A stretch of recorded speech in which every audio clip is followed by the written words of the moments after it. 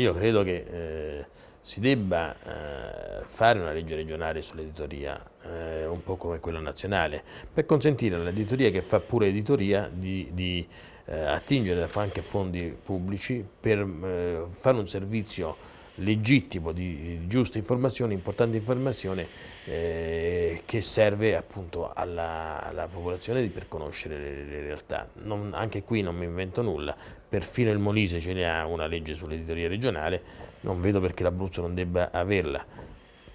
Ovviamente eh, qual è lo spirito? Quello di, di, di eh, permettere all'editoria di non essere soggiogata dalle necessità economiche da parte di questo sponsor piuttosto di quello. Io vedo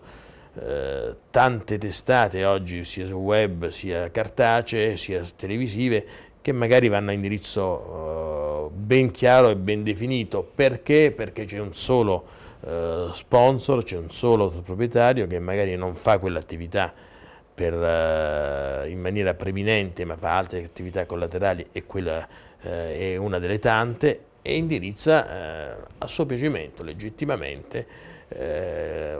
la linea editoriale e anche politica del giornale, della televisione o del sito web. Tutto legittimo, ci sta tutto, ma il, eh, il servizio pubblico, quindi l'ente pubblico, deve poter garantire la maggiore trasparenza di, informazione e per fare questo bisogna che si faccia una legge che consenta anche a chi fa emittenza libera e senza il vincolo del monosponsor o del monoproprietario, di poter, eh, il monoproprietario che fa altro accanto a quello, di poter eh, fare un servizio di informazione perché nell'informazione e nel pluralismo delle idee cresce la società e cresce il territorio. Quando invece l'idea è monolitica è evidente che si chiudono anche le prospettive e noi dobbiamo allargare la possibilità di conoscenza perché nel confronto crescono le idee